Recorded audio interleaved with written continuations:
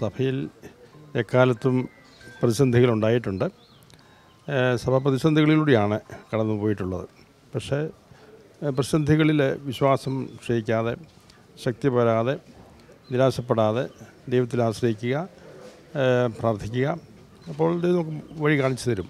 എന്നാൽ ഇതിനേക്കാൾ വലിയ പ്രതിസന്ധികൾ നേരിട്ടിട്ടുള്ള സഭയാണ് നമ്മുടേത് സഭയെന്ന് പറയുന്നത് തീയിൽ കുരുത്തതാണ്. അതുകൊണ്ട് ഇതുപോലെയുള്ള ചില പ്രശ്നങ്ങളെ പ്രശ്നങ്ങളിലൂടെ വാടിപ്പോകുന്ന ഒന്നല്ല സഭയെന്ന് പറയുന്നത്. സഭയെ നയിക്കുന്ന ദൈവമാണ്. ഇതുപോലുള്ള അനുഭവങ്ങളിലൂടെയും ചില പാഠങ്ങൾ പഠിക്കാൻ സാധിക്കും. അത് പിന്നീടായിരിക്കും നമുക്ക് മനസ്സിലാക്കാൻ സാധിക്കുക. അതുകൊണ്ട് പിന്നെ നമ്മൾ സത്യത്തിന് വേണ്ടി നിലകൊള്ളുക സത്യം അറിയുവാൻ ആഗ്രഹിക്കുക സത്യത്തിന് വേണ്ടി നിലകൊള്ളുക.